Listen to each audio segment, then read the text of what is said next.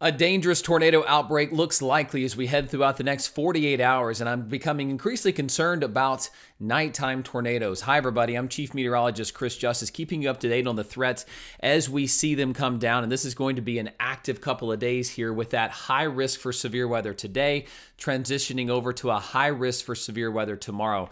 The orange here in an area that could have large and violent tornadoes that we need to stay dialed in on. Folks, this is an update that I want you to share with your friends and family. And please, if you don't already, please subscribe to this channel, follow this channel wherever you're watching from right now. Any kind of watch, any kind of warning as we're tracking these storms moving forward, we're going to be dialed in on. And what that looks like for you may be a little bit different. Let me map that out here for you because if you're watching right now on Facebook, for example, just make sure you're subscribing or following to updates, okay? If you follow the page, you'll get all the different updates there. If it's YouTube, you'll be able to see it a little bit differently as well. And anytime that you have those notifications turned on, it'll send a push alert to your phone. Another way to stay safe is to have the WYFF4 mobile app downloaded. Any kind of warning that is issued, if you're in bed, if you're out on the go, uh, you can watch what we're doing on TV on your phone.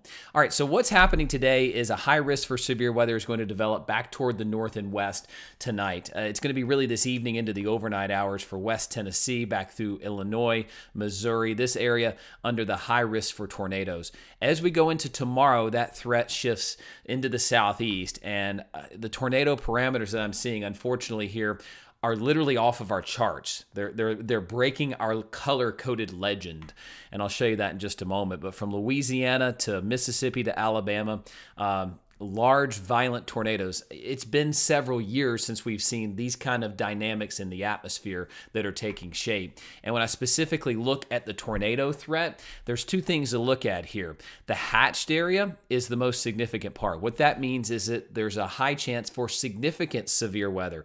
And what that means that significant terminology means ef2 or greater tornadoes or wind that is in excess of 74 miles per hour very dangerous situation here, and that's possible from the western parts of the upstate into western North Carolina through metro Atlanta. And that uh, yellow area means there's a 1 in 10 shot at any given spot that there could be an EF2 or greater tornado. 1 in 10 shot, folks. That's that's a high probability of a tornado at any given spot. Then you look at the red area, that's a 15% chance of a tornado at any given spot. Those are high odds. And when you look specifically at the wind, it's even more dire. There's a 30% chance, a 3 in 10 shot of 74 mile per hour winds or greater in that area. In the pink area, there is a 45% chance of 74 mile per hour winds or more. Uh, just some of the highest severe threats what we've seen in a while. Let me show you the makings of it. The dip in the jet stream is occurring right now, and you see this out here. That is the, the moisture streaming in and will continue to stream in, especially once it taps into the Gulf. Now, that threat is, is certainly very, very high today uh, into tonight up here. But I'm even more concerned about what happens here when you tap into the warm Gulf waters, and that brings in that jet. And what I'm seeing here from our models is that this dip, you see it here, it's a violent dip in the jet stream, uh, is going to cause a response here from the Gulf of Mexico that you can see right here on this map a little bit closer. Let me get into Saturday afternoon. Look at this. That is straight open for business.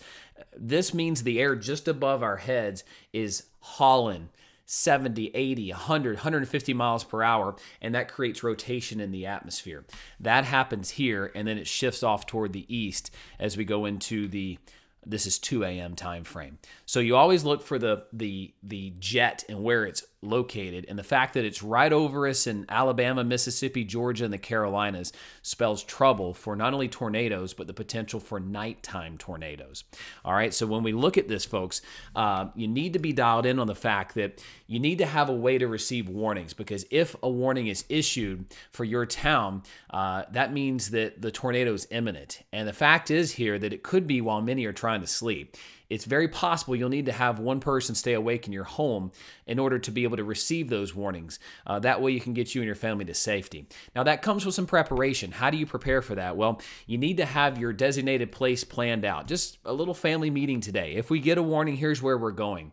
If you have little ones like I do, it'd be good to have some blankets, some pillows in there because if you're waking them up at three or four o'clock, you hope they go back to sleep in your closet or your bathroom, wherever it is. Have some tablets, have some games, have a color covering book, whatever it might be. Just prepare that area so that it's not, you know, in a scary situation, it's a little more comfortable. All right.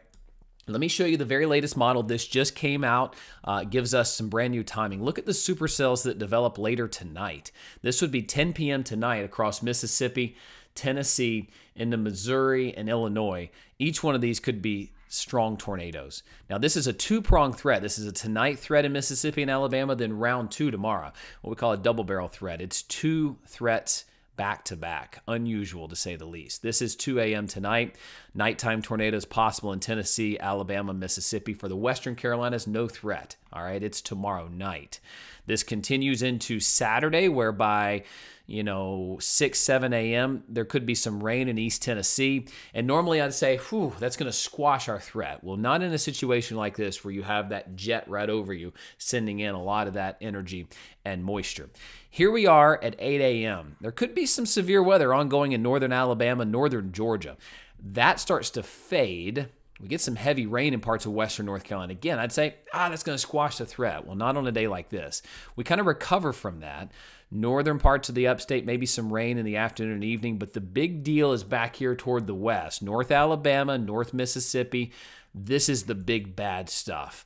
In this area, what we'll likely have form is large tornadoes that'll be long track, where they go county by county, state by state, even. We could have tornadoes on the ground for two states. That's unfortunately the situation that I'm seeing here. And unfortunately, as we see this map out into the afternoon, it could be during the nighttime hours. This is a scary situation. You got a line here at 4 p.m. that would indicate in, anywhere in this line could be tornadic activity. But out ahead of that, that is a that is a telltale sign of one, two, three, four, five, six, seven, eight, eight plus supercell tor- tornadoes that are out discrete. They're by themselves. They're spinning in that atmosphere. So where do they go is the question. This tries to move on out. This is 6 p.m. on Saturday. Most of Mississippi and Alabama either under a tornado warning at some point. I mean, I mean, this is going to be a bad, bad day tomorrow. This continues into the evening hours. Here we are at 8 p.m. This does not matter. Normally, I'd say nighttime. Ah, threat's going lower. The jet's cranking. It's just it's like a hot summer's day outside. It's muggy. You feel it. It just feels different. Birmingham South, most of Alabama, even the Panhandle of Florida under under some supercells here. This looks like an outbreak that we haven't had in a few years, folks. Um, you know, you, you, you hate to compare it to certain years, and I won't do that, but I haven't seen this kind of an outbreak in Alabama and Mississippi and, and, and even into Georgia in many, many years. So that threat continues to shift toward the east.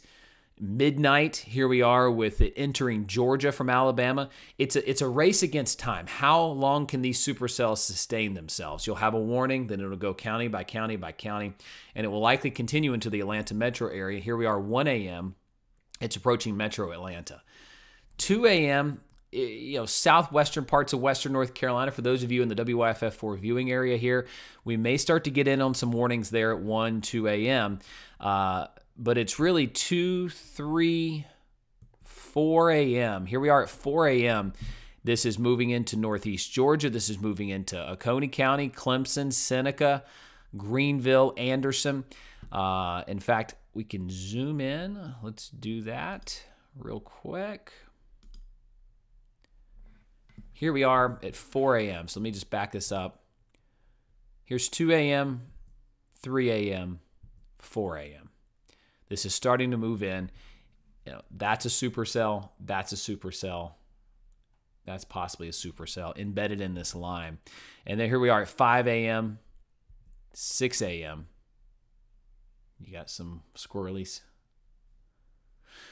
and in, in, embedded in here. Then it's moving over toward Columbia. The backside of this, 8 a.m., we're done. I mean, this is this is really a, a time frame of that. Now, folks, I'm going to show you a dire map here, okay? This is the tornado program. I'm going to zoom in to states here in just a moment, but um, look at it broadly first. Tonight, that risk, I mean, this is a scale, I'll show you, goes to 10 but you see my max is 15 on here. It broke my legend. I mean, that's that's I, I haven't seen that. if I'm being honest with you here. This is the H triple R, the high resolution rapid refresh. Parts of Missouri, Arkansas, West Tennessee. We're talking a two and a three tornado parameter would be, ew, that's, that's pretty high. But we got 10, 11, 12s, and that's tonight.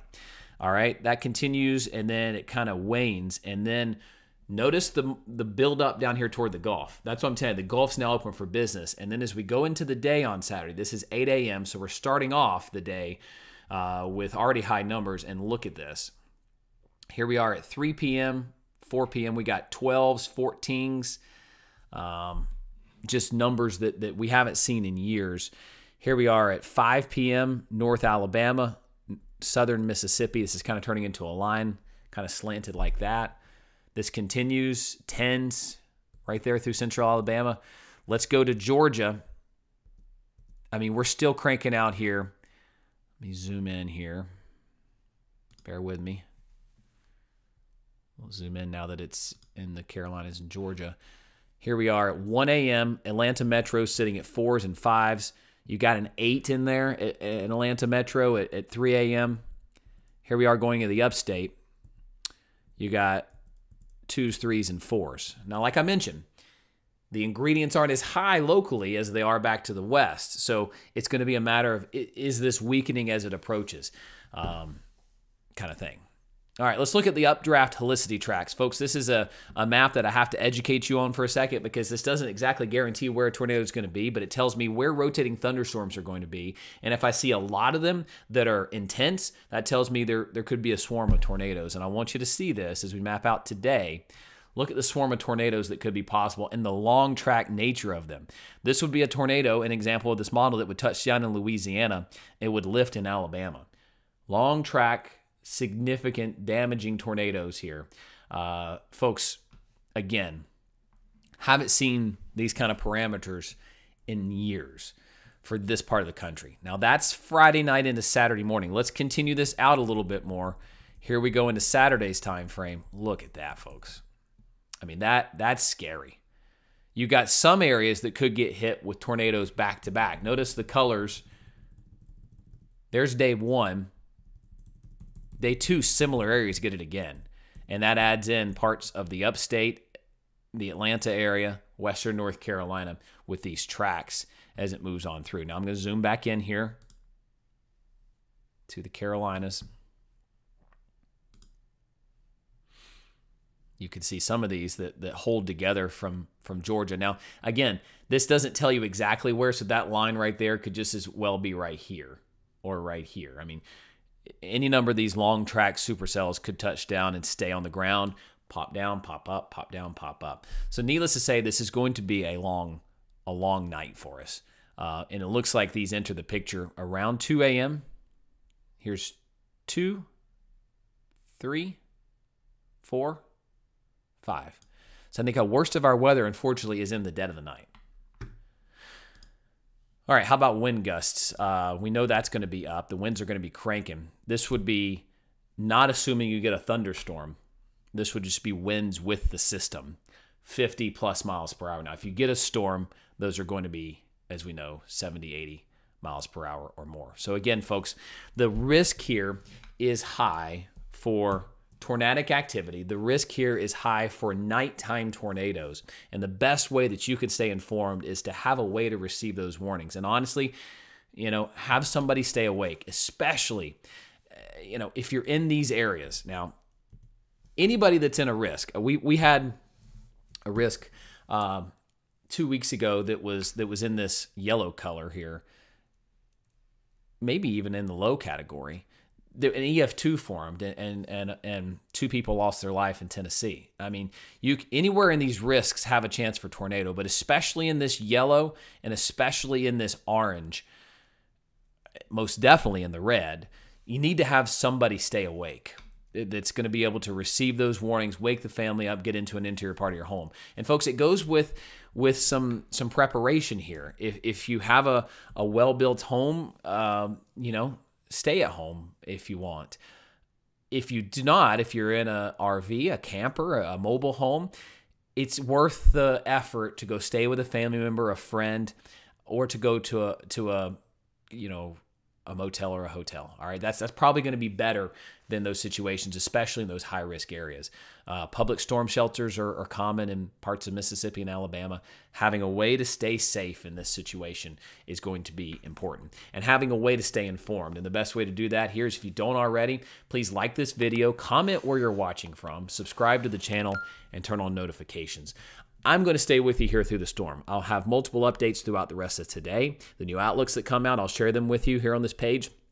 And then I'll also be live with you during the tornado outbreak, being able to provide an update on where the tornadoes are, where they're going, and even into the overnight hours. So uh, lock it in right here. A couple things you can do on your phone prior make sure it's charged have a way to receive those warnings, have a way to uh, be able to watch that coverage live if your power were to go out. The WYFF4 mobile app is great for that. You can watch whatever we'd be doing on TV on your mobile app if you're on the go or if you're in bed. All right. All right. So, folks, stay safe, stay tuned. This is not a time to panic, but a time to prepare. Uh, my goal, as always, is to inform you with the information you need to keep your family safe. And um, we'll continue to do that.